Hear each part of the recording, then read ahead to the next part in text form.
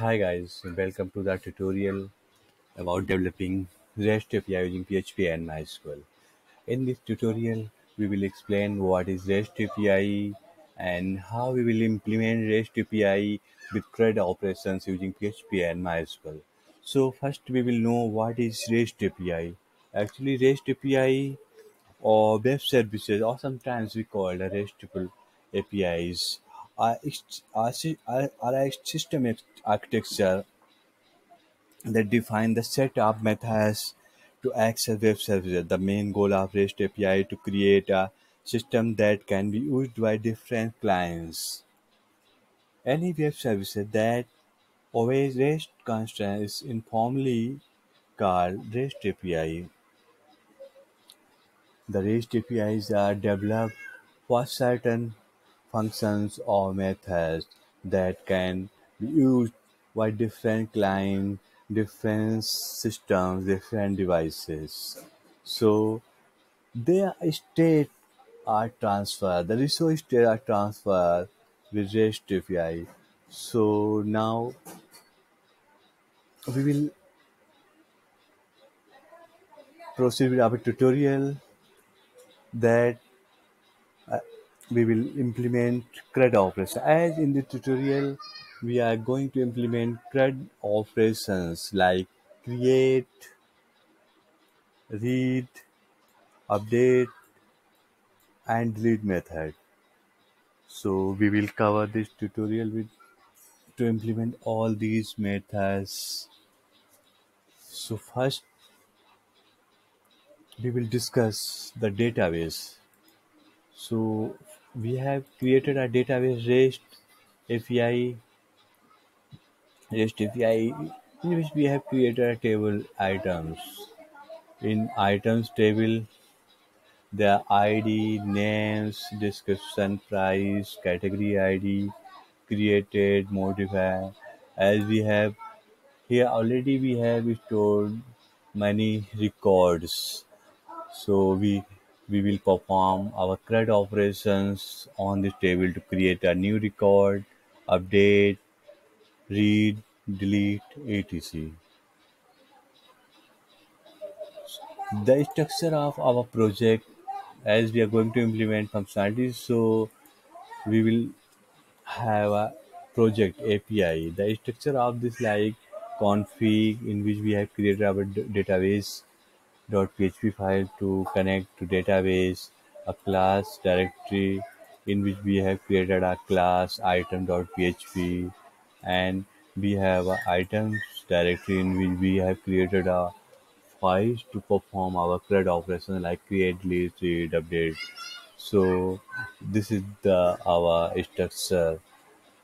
We have also created a database php that we have already tell you. So in which we have created a fun- function get connection.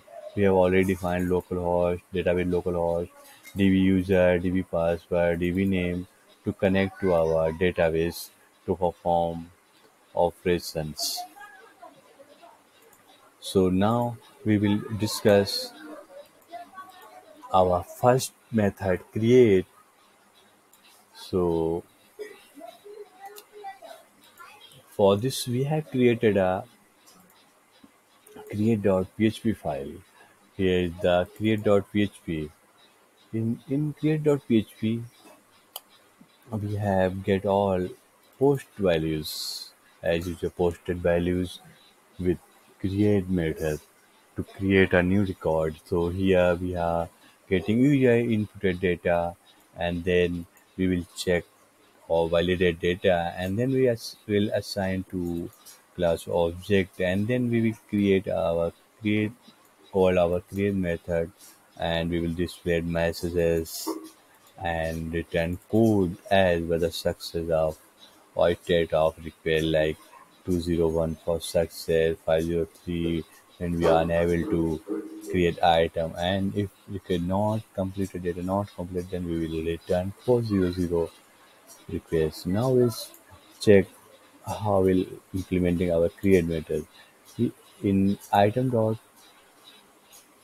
in items class we are creating our create method, we here we have implemented inside, inside statement with fields and we have also passed question mark as we are here binding values user posted values and execute statement. So here is the complete method to create a new record. So now we will check our create method in postman app. So here is our create method url or we, we can get from here.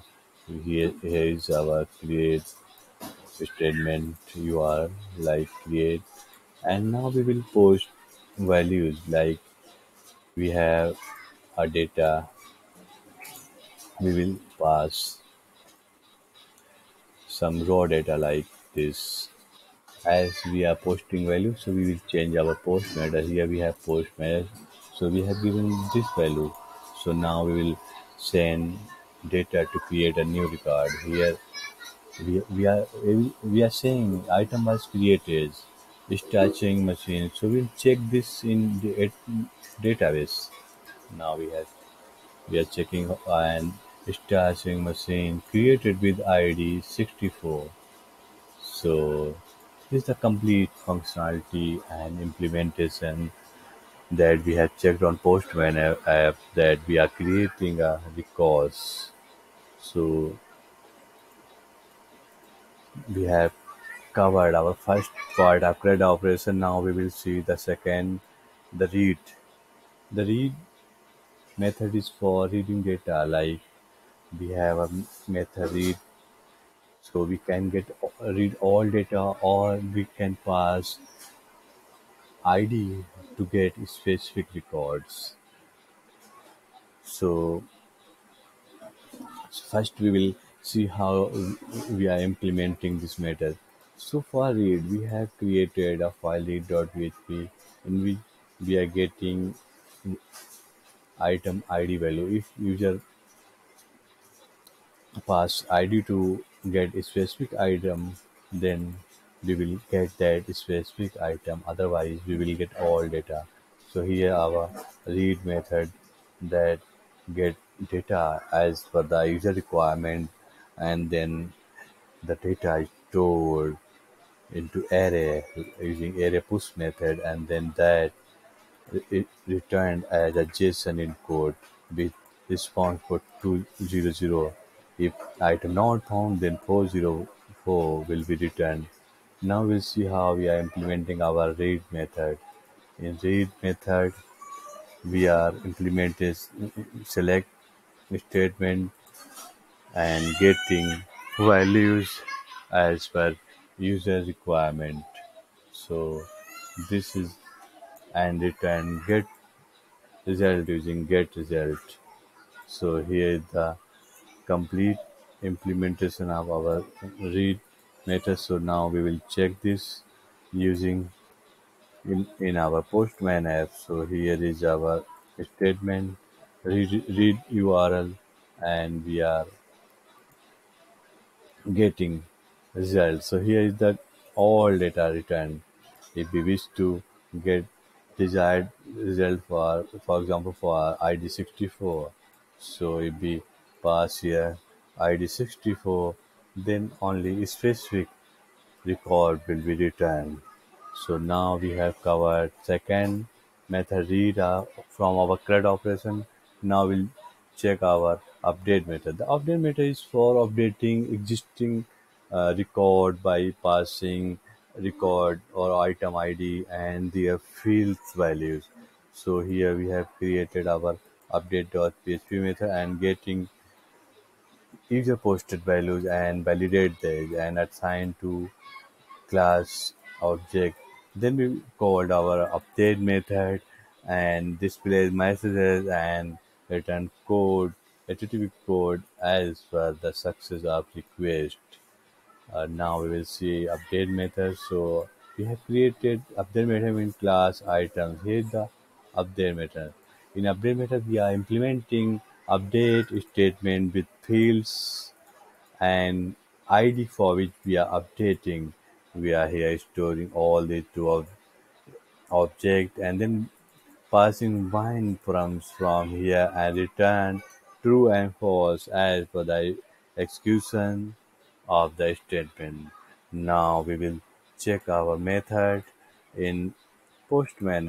Here we are passing the our method and we pass values for this like here for method 60 for method 64 so we we are here passing values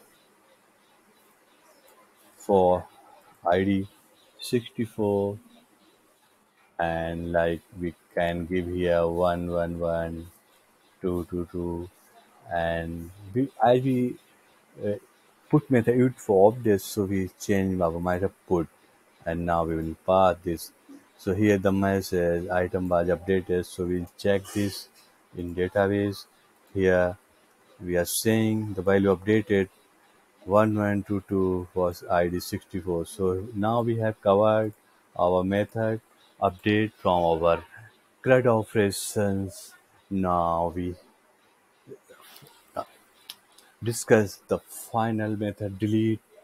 So actually delete method is used to delete specific item using items id so here we have created a delete.php and getting user inputted id and then we will call method delete and display messages and code as per the success or failure of the delete request. Now we'll check our delete method. So we have created our delete method in class item. So here the delete method and we are implementing delete statement with ID and binding items here and we are displaying we are returning as per the execution success or failure.